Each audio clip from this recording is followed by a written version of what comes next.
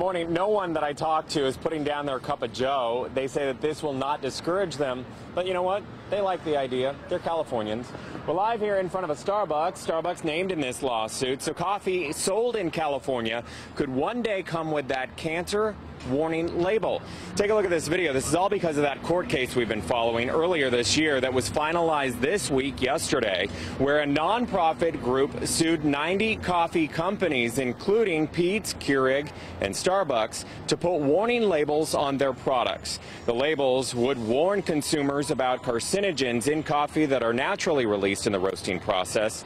Those types of disclaimers fall under current California law. This morning, we're educating consumers. We're talking to coffee drinkers. Here's what they told us. I like the transparency. Um, I think everybody deserves that uh, in full in full transparency, but it's not going to stop me. Well, I think it's the best thing for everybody to know what's going on with the coffee and stuff, you know. So me, that's that'll be a good idea. Would it keep you from drinking coffee? No, Would it keep you from drinking coffee? No, You say not at all. not at all.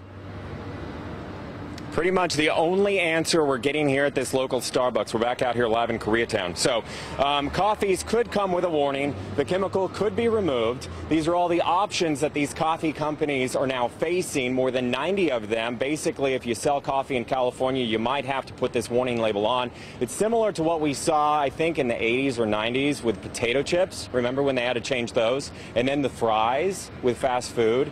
I mean, this is kind of nothing new.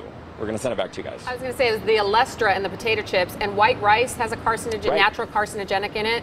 I think just pretty much everything in the world, not, not you know, products have a, something that can cause something. So I'm not stopping. Are you? Exactly, you know. Yeah. Yeah, no. All right. Thanks, Thank you, Matt. Matt.